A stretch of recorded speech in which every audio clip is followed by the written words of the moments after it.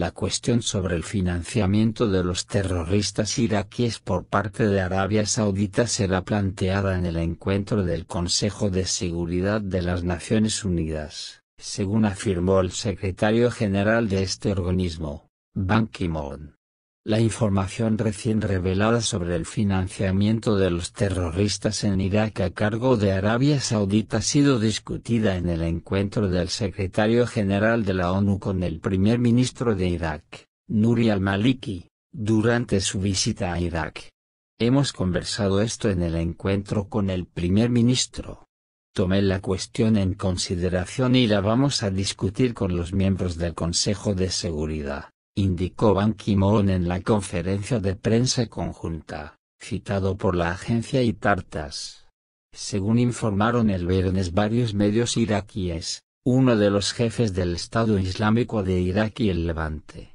EIL, grupo fuertemente vinculado con Al-Qaeda, detenido por las fuerzas de seguridad de Irak, confesó haber recibido una financiación de 150 millones de dólares de Arabia Saudita para organizar un levantamiento armado en la provincia de Ambar.